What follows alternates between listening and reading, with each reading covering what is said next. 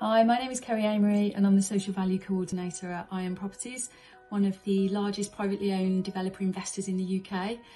Our relationship with the Heart of England Community Foundation started in 2018 when we were selected by Birmingham City Council to partner with them to deliver Peddimore Birmingham, which is a brand new employment park situated in the northeast of Birmingham. As part of our social value commitments to the site, we established a community fund to help support local community projects. We wanted to ensure that the funds were going to those most in need, and it was really important that we had local knowledge to be able to do that. Using the foundation allows us to draw on their vast experience and local understanding to ensure that financial support was going to those grassroots organisations that do such great work within their communities.